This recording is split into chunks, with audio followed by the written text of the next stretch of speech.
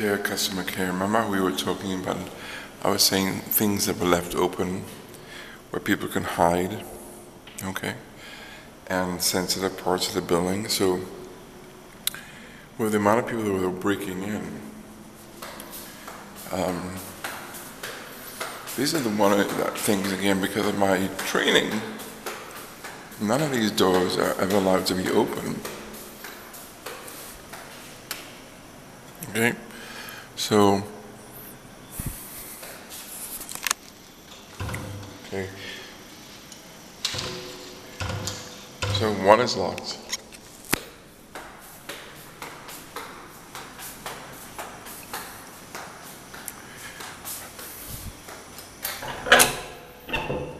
Now I often find these wide open as well. So while they're they may be because of safety, um, perhaps putting a key card reader or something, because this is where, with, like I said, I told you, there were so many strange people breaking in. I mean, people talking about the doors being opened.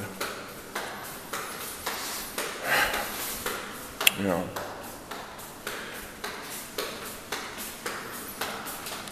This is what I did to mine, okay?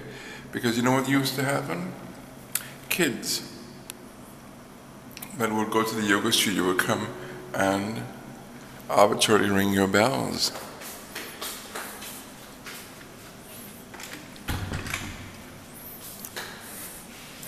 Okay?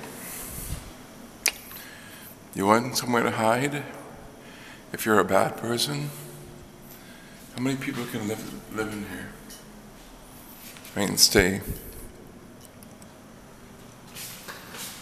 None of these doors are ever left open in Canada.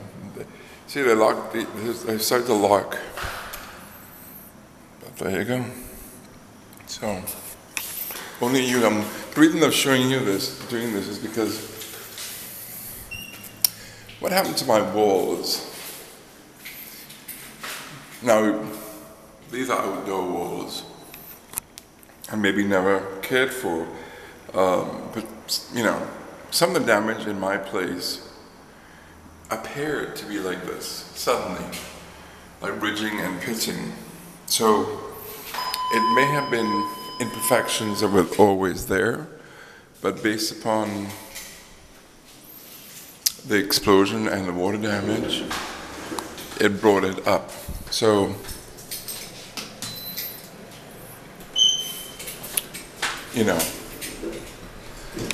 the apartment may have never been perfect, but certainly after the event, it became less perfect if you know what I mean. And of course, I had to start looking for, Um, you know, things that I hadn't noticed before. Like, for instance, this. You see, okay, here's the seventh floor, right? So, obviously, this was done or has actually, so you can see the rippling is very strong here. And that's what happened. Now, some of it, of course, has